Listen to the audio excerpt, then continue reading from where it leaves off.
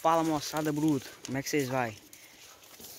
Bom, galera, hoje vou dar uma dica aqui para pequenos produtores de vaca de leite e também de vaca de corte. Tô aqui com a bezerradinha aqui de leite.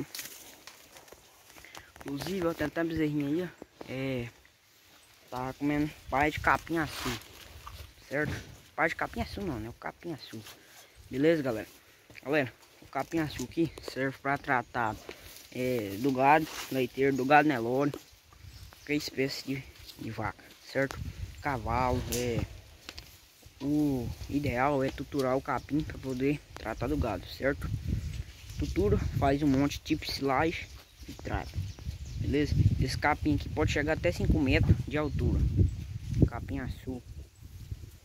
Aqui eu acho que tem uma espécie de capim azul e uma espécie de capim elefante. As mudas tá tudo misturada, certo?